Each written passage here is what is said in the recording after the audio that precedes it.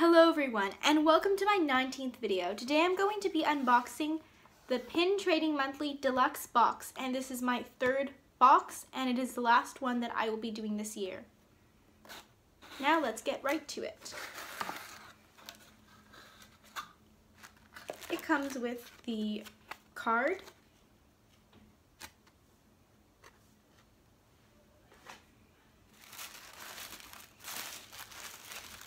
And in the first layer we have, this is the first tangled pin I've ever gotten. I'm actually so excited about this. This is so pretty. It's the shadow of Rapunzel and the flying lantern and it's purple.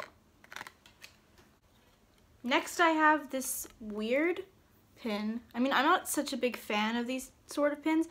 I don't remember exactly what it's called. This is a Nemo version of it.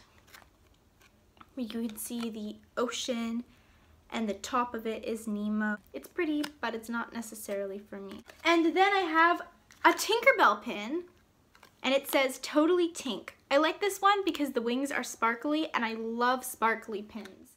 As you can see, I have seven pins that have sparkles on them. Some are more subtle than others. Really happy about this one. And that's it for the blue layer. Now, for the white layer, we have, oh my goodness, okay.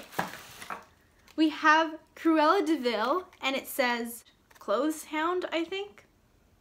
Clothes Hound. I don't really understand what that means, but I do like Cruella de and I'm happy to have her, a pin of her. Next I have a Mowgli Tsum Tsum pin. This is from Jungle Book. A Pluto pin. And a Fox and the Hound pin. I don't remember the name of these characters, but I will display it up here once I know. The last layer, it got a little ripped. I have Mickey Mouse holding a little Mickey symbol with a castle in it, which is very hard to see because of how tiny it is.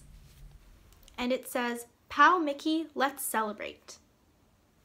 Then I have the Siamese cats from Lady and the Tramp, and I'm very happy to have these because I wanted to collect the um, Disney cats so this is the first addition to my Disney Cats collection.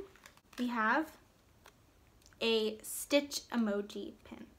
I will be displaying the Rapunzel Hidden Mickey pin and the Siamese Cats pin. Comment down below which pin is your favorite. Thanks for watching and see you next time.